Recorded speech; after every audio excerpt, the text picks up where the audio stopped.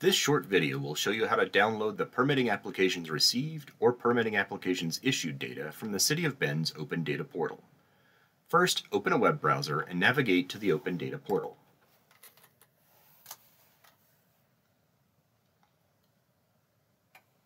Click Data Catalog from the menu.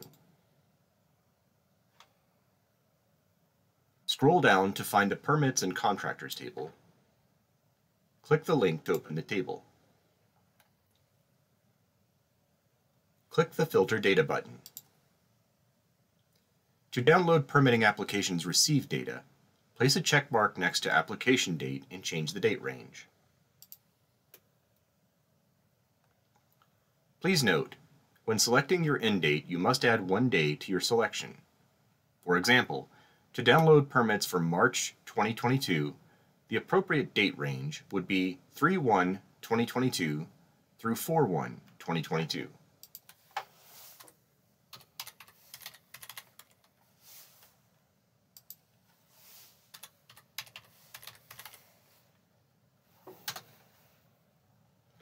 Click the Download button to download the data. Ensure Toggle Filters is on. Click the Download button in the CSV box to download permitting applications received. This process may take several minutes. If instead you want to download permitting applications issued, click the Filter button. Clear the application date filter by unchecking the box.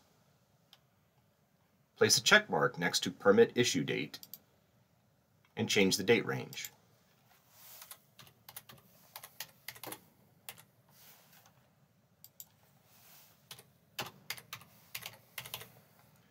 Click the Download button to download the data.